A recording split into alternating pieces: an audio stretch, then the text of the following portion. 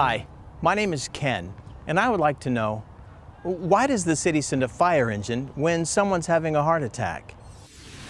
Hi, I'm Captain Jeff Chumley with the City of Carlsbad Fire Department. Safety is our number one priority, and we want to make sure that we get trained paramedics with the proper equipment to patients as quickly as possible.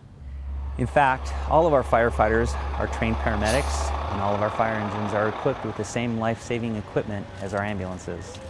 So, if a fire engine is closer to an emergency than an ambulance, it makes more sense to send the engine to the scene.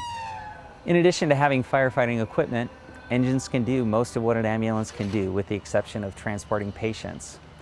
Since fire engines can serve so many different purposes, the city has purchased more engines than ambulances. Another advantage is that in Carlsbad, fire engines are staffed with three firefighter paramedics. Ambulances are staffed with two.